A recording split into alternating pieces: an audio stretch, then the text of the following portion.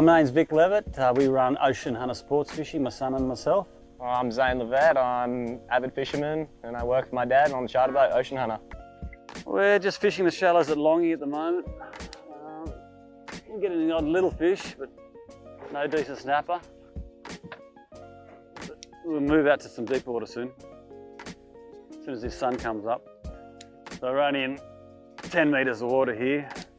And this is actually what did the damage today. Real nice three to P, three to five on the 5000 clash and she's got enough drag to handle a nice big king. People just use them as a winch. They just physically just want to wind that fish in and just get in as quick as they can, which I don't blame them, but it takes a toll on the uh, reels and a lot of them, I think we went through five different types of reels before we settled on one and they're all ended up in pieces. They have a really, really hard life. They get flogged. They cop a bit of abuse. They get smashed, they get dropped, they get dunked. Honestly, something that a reel should probably not ever experience. Um, we try to look after them, we try to do the maintenance and all that, but we need a robust, we need a, a robust sort of strong reel. And I can't fault these at the moment. These are just the clashes, but been through all the brands, been through all the types, and just been really quite, not disappointed, but just hard to find the right one until now.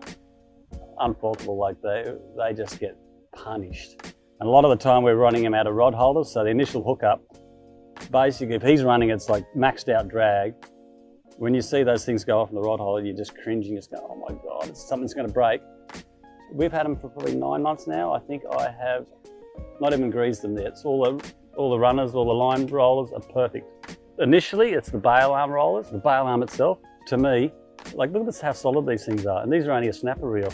A lot of the other ones are flimsy. It's fully molded right through here, so you get no line catch at all. I found the other cheaper reels, uh, they just falter there all the time. Handles are the other things that I mentioned before, they snap off. A lot of these, they tighten up too much. They ended up blowing out of there. These are absolutely perfect at the moment. Uh, obviously drag is the ultimate thing. Uh, we're probably putting, all honesty, 12 kilos, maybe 15 kilos of drag. It doesn't sound like much, but that's a lot to hang on to. And then to a lot of the point, we're almost um, just flattening them out completely with, with lock drag. So yeah, and the other thing is um, corrosion. I mean, I've got all Penns up here. They've been sitting there out in the weather for almost 12 months. There's not an ounce of corrosion on them.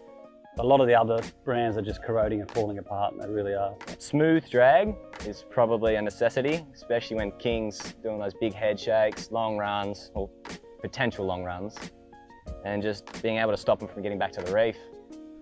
As what my dad also said is the roller, the bail roller. Because if you get one nick in that braid, you've potentially lost your fish of your lifetime. And basically comfortability. Nice light combo like this, sits in the hand real, real good. It's just perfect. Can't ask for much more to be honest.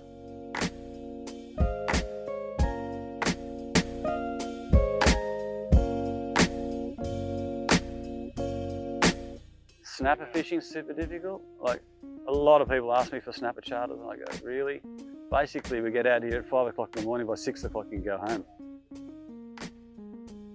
I mean, you'll get the odd big snapper during the day, but ultimately we find once that sun hits the horizon, we're thinking of other things.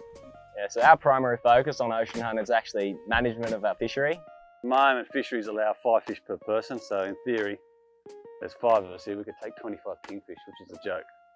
With what my dad has done for the past 30, 40 years, tagging kingfish, he's actually got the ball rolling with this boat. He's made tagging trendy. So um, we're working closely with fisheries as well with tag and release.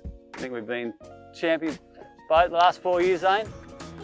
Champion boat the last four years for Kingfish, Australia-wide.